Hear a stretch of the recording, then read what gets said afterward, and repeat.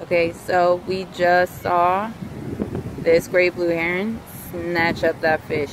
That is a big fish.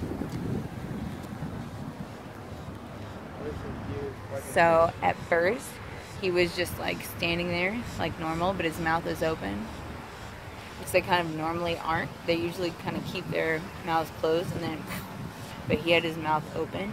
And then suddenly, and now we know why.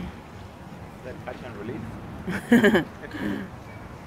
That's a really big, is a catfish of some kind. You can see the little whiskers on it.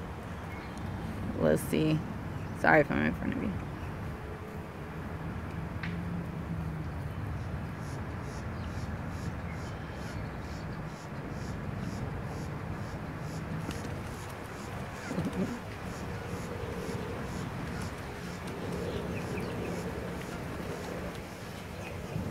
Poking in.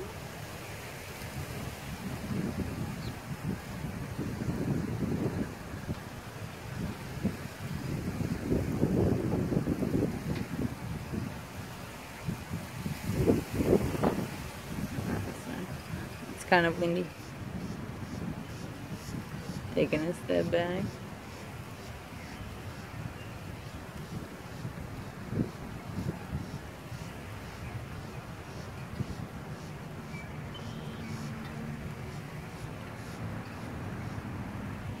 That's so cool. I've never seen a great blue heron get that large of a fish before.